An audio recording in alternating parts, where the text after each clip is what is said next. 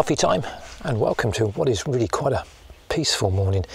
We're here at Farley Mount. I got here at dawn uh, looking for the hares. I haven't seen too many, it's about 10 or so I've seen in different locations.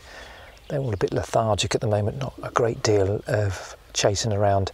I was here last night um, just for a couple of hours and again about 10 or so in different different locations, twos and threes but again, not much in the way of uh, chasing or boxing. So I think he's going to be investing uh, a little bit of time. I've got a couple in front of me at the moment, but they're, like I say, they're just laying up. So I think, yeah, it's going to be a bit of a challenge. But yeah, let's see what comes.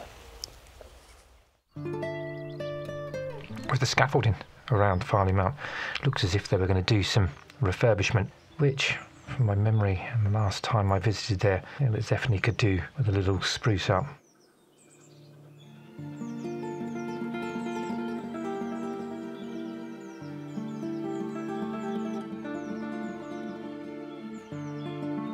There's one long footpath that travels adjacent to four or five fields, each of them having groups of hares up to about five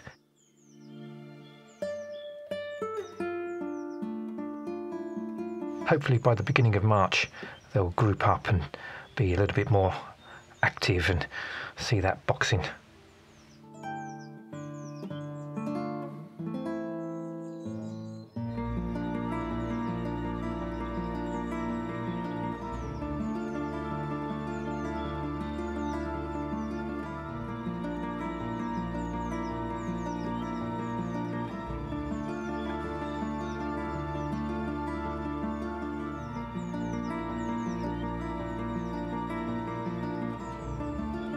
it was nice to see these red-legged or French partridge. They're closely related to pheasants and definitely coloured more vibrantly than the native grey partridge.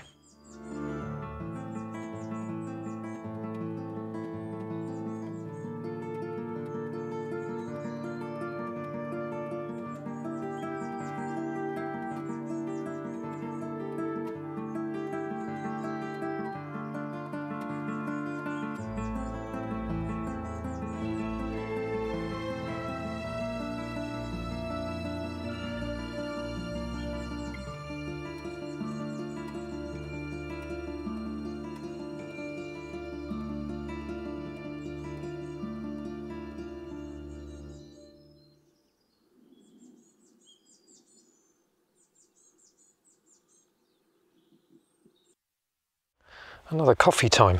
I decided to uh, have a little break. The last hour or so was was quite hectic. I've set myself up on a junction between uh, three fields. You've got one over here, this side, and then Far Farley Mount is you probably can't see from here, but it's right over the back.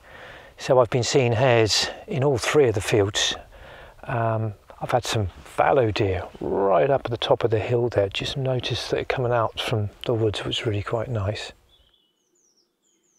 Once the rut is finished for the fallow deer, they separate out into two herds, the, the does into one herd and the bucks into another. And you can see here that uh, very similar to the buck that we had in the trail cam video, quite a few of them have lost the antlers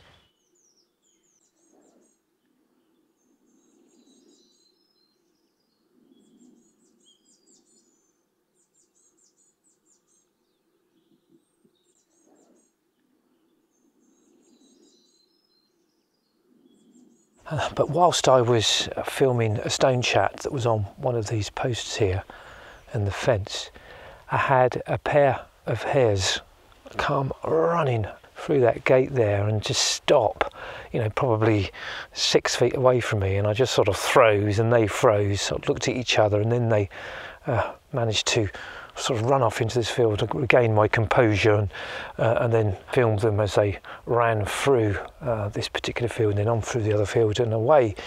Did two circuits, uh, did the same again actually, and I missed it for the second time as well, which is quite bizarre.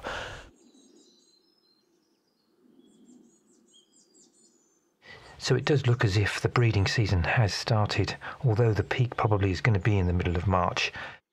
So we can see the male here chasing the female, and they're definitely not running at the full pelt. She's weaving back and forth. So she certainly seems to be receptive because if she had had enough, she'd have probably turned round by now, and that's when the boxing would take place.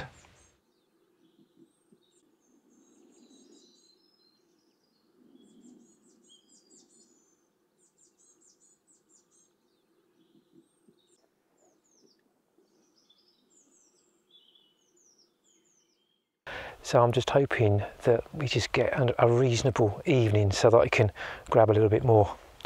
Well, let's see what comes.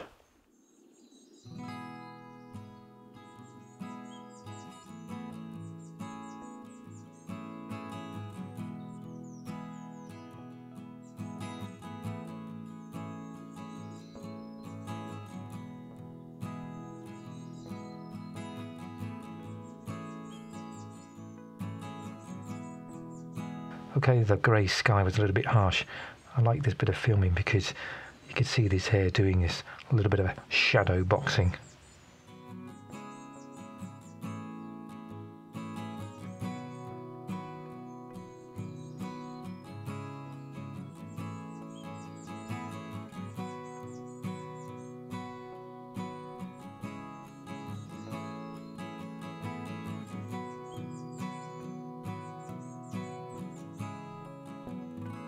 Saw this hare resting on the edge of the hedgerow and thought it'd be a good opportunity to try and get as close as I could. So I just took the camera and a bag to rest upon and crawled along on my front, getting closer and closer, which seemed to be a great idea at the time until after about sort of 15 20 minutes and really started to ache. And I found it so difficult to keep the camera steady. So sorry if it's a a little bit shaky.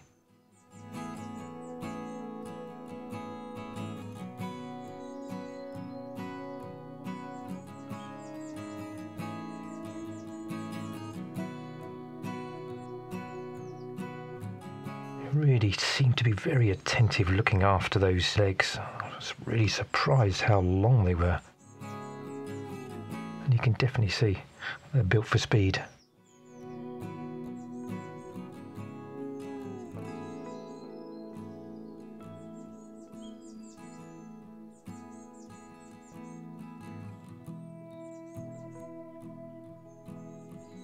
So I managed this for about half an hour and I thought, no, this is a young man's game.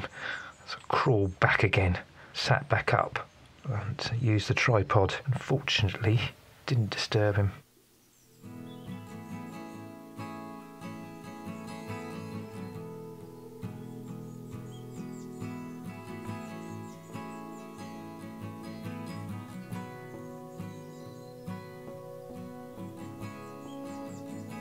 I was amazed how alert it was. Just a little bit of noise over the far side of the field, and it was on it straight away.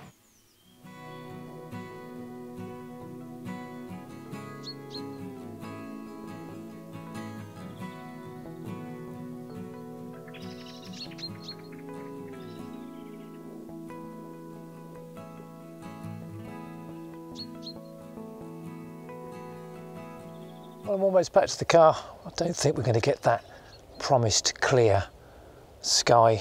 Uh, we have got some clouds, but I don't think they're going to catch. It's a little bit too cloudy, so I don't think we're going to get a decent dusk. Well, on the way back from the opposite end to the car, I managed to count about 20, 22, 23 hares, so there's certainly a good number here didn't really see any boxing, bit of shadow boxing. I think that's about it, really. Uh, but I think uh, maybe a little bit early, second week of February, maybe uh, come back again just uh, a little bit later. Um, end of Feb, beginning of March, might give it another go. But it's such a quiet place. That's what I like about this venue. It's just really idyllic. And with the skylarks right at the beginning as I got here, just made for a wonderful day. Well, I hope you've enjoyed this video. If you have, give it a big thumbs up, like and subscribe. And as always, look forward to you joining me for a cup of coffee in the next one.